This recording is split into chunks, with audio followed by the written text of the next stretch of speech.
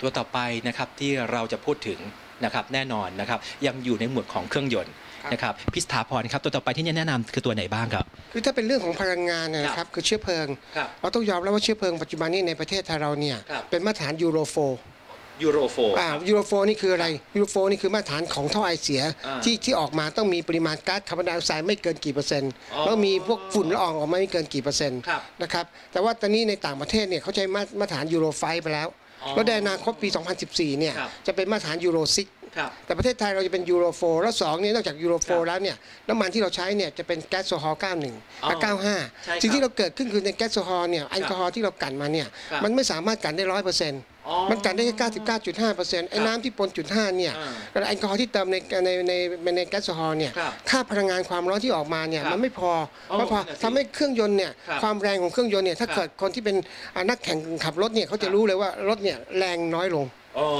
รอบรอแรงม้ามันมันไม่ได้ต่างที่เราต้องการแล้วจะทำทำยังไงดีครับนักวิทยาศาสตร์เราก็พยายามค้นคว้าครับว่าทำอย่างไร แล้วก็สองเนี่ยดีเซลที่เราใช้ไม่ว่าจะเป็นไบโอดีเซลหรือดีเซลครับเนี่ยสิ่งที่เกิดขึ้นคือค่าบความเหมาและค่าบความดำเนี่ยมันเกิดขึ้นใช่ครับเพราะฉะนั้นนักวิทยาศาสตร์เราเนี่ยพยายามบอครักบเอ้ยทำยังไงให้พลังงานเราเนี่ยอ่าได้มีคุณภาพมากขึ้นอ่าสามารถใช้พลังงานเดิมครับเพราะฉะนั้นเราก็เลยค้นคว้าตัวเทคโนโลยีใหม่ล่าสุดเนี่ยก็ครับคือตัว Delta One Delta One Delta One เนี่ยมันเป็นโน้ตครับฮาวที่เราสร้างขึ้นมาเนี่ยครับเอ่อ แตกต่างจากโน้ตฮาวที่มีอยู่เดิมในอดีตเลยอ๋อนะครับเพราะในอดีตเนี่ยเราจะใช้หัวเชื้อน้ำมันที่เป็นเรื่องของ octane booster การเพิ่ม Octane Booster การเพิ่มออกเทนขึ้นมาอ๋อซึ่งครับปัจจุบันนี้ถ้าการเพิ่ม octane booster เนี่ยครับโรงกลั่นน้ำมันเขาทำมีให้เราอยู่แล้วอ๋อเราไม่จำเป็นต้องไปเพิ่มครับแต่สำคัญที่สุดคือเราต้องสร้าง additive แล้วก็ได้ทำให้น้ำมันที่เราเป็น Euro four เนี่ยครับให้เป็น Euro five Euro six ให้ได้ที่นักวิจัยก็จะทำตรงอ๋อฮะ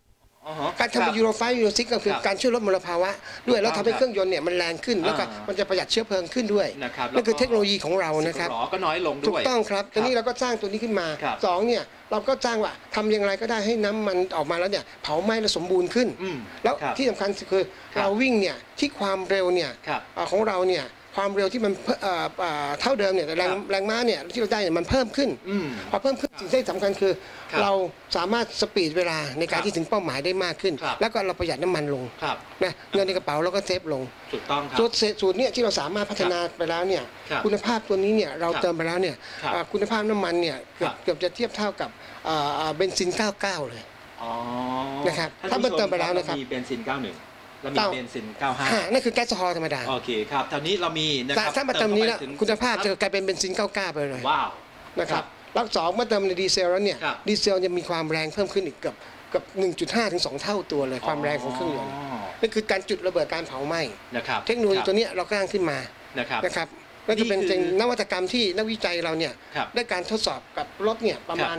เรียกว่าอ่าเป็นหมื่นคัน อ๋อ แล้วก็มีการเทสเป็นประมาณครับ เรียกว่าหลายแสนกิโลอืม จนกระทั่งครับออกมาเป็นผลงานวิจัยแล้วเราถึงก็ตัดสินใจครับอ่านำเสนอให้ให้ให้ให้ให้กับผู้ผู้บริโภคได้ได้ใช้อันประนี้โยอยู่ชในน์หมวดหมู่ของนะเอาคขรัอบ งพลังงานเลยครับของด้านพรลัถงงยนต์เลนะครับพลังงาน นะครับสุดยอดเลยครับนะครับท่านผู้ชมครับเดลต้าวันนะครับกับนะครับทีมนักวิจัยนะครับสู่มือผู้บริโภคครับ นะครับกับวันสเต็ปครับ